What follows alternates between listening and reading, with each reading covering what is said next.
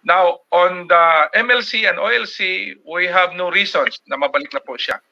And we have made it a point na naka, nasa policy na po natin, matagal na po yung in-approve natin ng administrator ni, Bob, ni Admiral Impedrad at nag-iisa po kami na talagang uh, hindi na po siya ibabalik kasi lahat na po siya na-address na po siya doon sa edukasyon. Kasi iba po yung system natin ng ng edukasyon. Bali yung competency po na sinasabi natin o yung skills o yung hinahanap po ng OIC at saka MLC ng management ay ando na po. At hindi po siya pwedeng ilagay sa training centers o MTI kasi ang findings, ang isa sa findings ng EMSA, dapat dagdagan mo yung kakulangan mo doon sa management mo doon sa BS. Kaya yun ang kinokorek natin.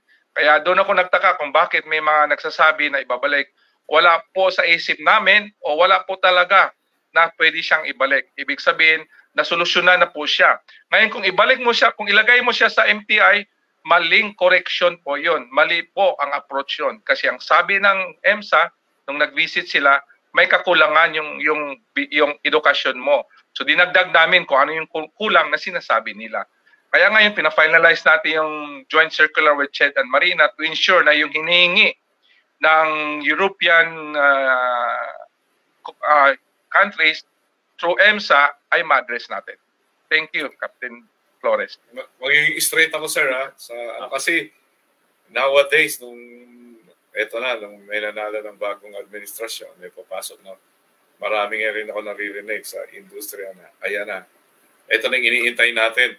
Pwede na natin eh, ano na naman, yung happy days are here again So yung nga, ang sinasabi ko na eh, siguro kailangan ding tulungan ng mga marino para ma-sustain yung lahat ng mag- napakagandang pagbabago na gawa niya, sir. Sa on the part of Marina, yung kasama ba siya doon sa voyage plan, sir? Ah, yes. Uh, on the part of the Marina, ang sabi naman ng voyage plan namin, kung ano yung ginawa natin ngayon, isusustain lang siya, itutuloy. Naka, nakasulat lahat siya. Now, doon po sa MLC and OLC, ang sabi ko palagi, hindi natin siya tinanggal. I- i- ilagay lang natin siya sa tama kung saan dapat siya.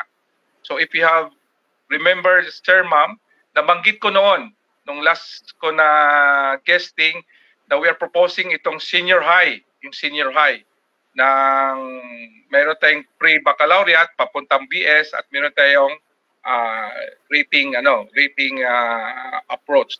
So ang palagi kong sinasabi, wag nating pilitin yung yung mga course na to na hindi naman dapat siya doon.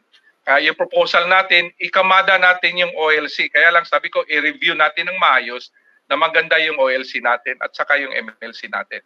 Yung nabanggit ko last time. So doon tayo ngayon ilagay natin. And we are proposing this. We are now enhancing, continuing our discussion, collaboration with DepEd. So hopefully, pag ubo ng bagong secretary ng DepEd, lalo niyang ma-appreciate yung proposal natin since nasa hot issue ngayon yung review ng Keto 12. So ang Marina ngayon, we are finalizing our proposal to ensure that we can review the yung Maritime High School natin po. Thank you.